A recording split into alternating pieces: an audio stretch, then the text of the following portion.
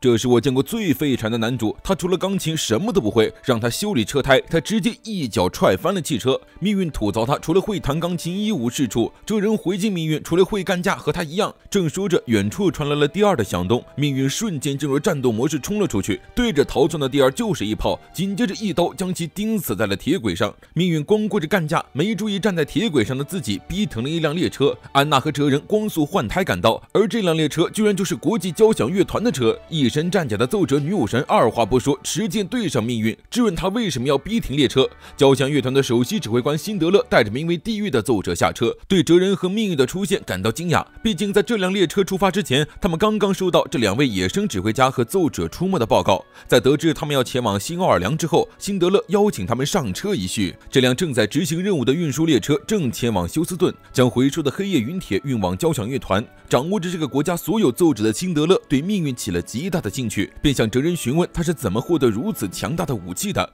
将命运形容成武器的说法引起了安娜的反感，辛德勒却认为奏者仅仅是他们为了打败第二创造出的武器，还想要询问之前的小柯的事情。老雷区武王了，哲人直接回怼了回去，关你屁事！看几人油盐不进，辛德勒直接下令让他们好好休息，然后命令女武神将几人软禁在车厢里。女武神很看不惯这几位突然出现的麻烦，他们交响乐团肩负着保护民众的光荣使命，他们妨碍公务就是大罪。说着，女武神拔剑威胁，双方互相看不顺眼。哲人这暴脾气，当场回怼对方野蛮暴力。站在窗前的命运感知到第二触摸，立刻化身战斗模式破窗而出。还好经过前段时间的莱尼的指导，命运和哲人的配合逐渐默契，完全不听。指挥的两人把女武神气得不轻，竖指第二朝列车冲出来，女武神干脆利落的一刀一支。哲人问起辛德勒身前那位黑皮为什么不参战，被告知那位是指挥官的贴身奏者，除非指挥官遭遇危险，他不会出手。况且这一点说来的第二也不值得他出手。最后一只第二突然出现在哲人身后，命运高高跃起，一炮轰出，射线擦过哲人的头顶，将其击落。哲人吐槽命运是想把他自己干掉，两人又因此吵了起来。结果因为第二的袭击，前方的铁轨被命运的攻击给砸毁了一段，他们只好暂时停下等路修好。女武神勒令两人不许多管闲事后，怒气冲冲地离开了。名为地狱的黑皮奏者坐在火车头上，问哲人想不想和女武神和睦相处，强行让他变成自己的就好了。毕竟女武神还从没和指挥者缔结契约，虽然外表强悍，但内心却是非常单纯。当然，哲人这位铁直男一口拒绝。地狱明显对哲人和命运非常感兴趣，而在车厢的安娜也被辛德勒叫去谈话。在得知了他们身上发生的一切后，辛德勒理所当然地认为安娜是监视哲人和命运。毕竟未经调整的奏者和指挥者是非常危险的。他自说自。话一直可以的，直到黄昏，铁路的施工才完成。与此同时，数只第二铺天盖地的冲向列车。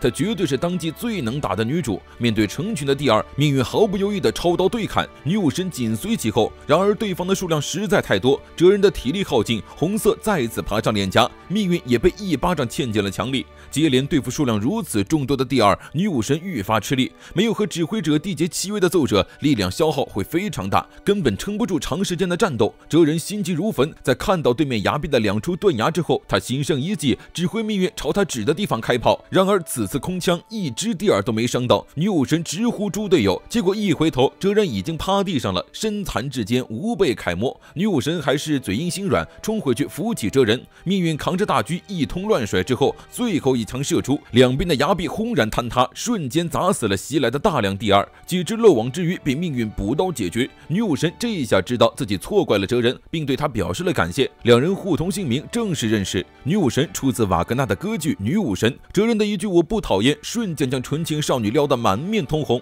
然而事情还没完全解决，一只巨大的哥斯拉出现了崖顶之上。然而此时的命运和女武神都已经耗费了大量的体力，地狱坐不住了。在征得辛德勒的同意之后，地狱的双腿瞬间变为风火轮，冲上前两脚秒杀哥斯拉。危机解除，列车到站，但辛德勒却临时改变命令，前往别处，还毫不留情地抛弃了忠心耿耿的女武神。他自信满满的向哲人伸出橄榄枝，让哲人成为他的手下。不出所所料的被无情拒绝，三人直接开车跑路，理都不理辛德勒。他首席指挥官什么时候被人这么拒绝过？辛德勒咬牙切齿地记恨上了哲人。越接近东海岸，幸存的城镇和人就越少。新奥尔良曾经的爵士乐圣地，如今这是一片破败的废墟。不过幸运的是，这座城镇周围没有第二的气息。哲人觉得可惜，当然可惜的是没有音乐弹，于是又和命运吵了起来。安娜带着命运去采购，把四肢不勤、五谷不分的哲人留下看车。杂货店的老板很是热情。这座城里已经没有年轻人了，人口老龄化非常严重。老板在搬东西闪了腰，恰巧他的一位老主顾布朗夫人打来电话，于是安娜和命运触发临时委托，给腿脚不便的布朗夫人送货。获得报酬，布朗夫人的苹果酱。结果刚要走，门口的台阶坏了。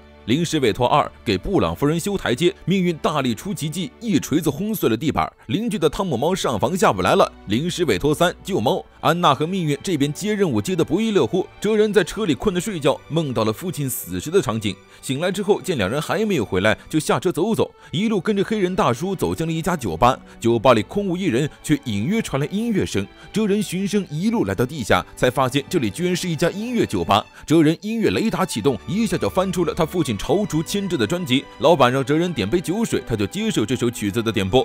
古典乐回荡在小小的酒吧里。老板是踌躇牵制的死忠。粉，这让哲人有些意外，因为十年前的波士顿惨剧，他以为喜欢音乐的人应该很排斥超出牵制。牵制曾经来过这座城市，一首蓝色狂想曲，他获得的掌声和欢呼几乎震塌了音乐厅。音乐中寄宿着人的思绪，音乐就是人生。欣赏音乐时，他们的一切与音乐融为一体，赌上性命教会他们这一点的牵制是最棒的音乐家。酒吧里的常客调侃着老板又在卖安利。老板问起哲人为什么喜欢超出牵制，没想到对方语出惊人。你爱豆是我爹，于是当场鸦雀无声。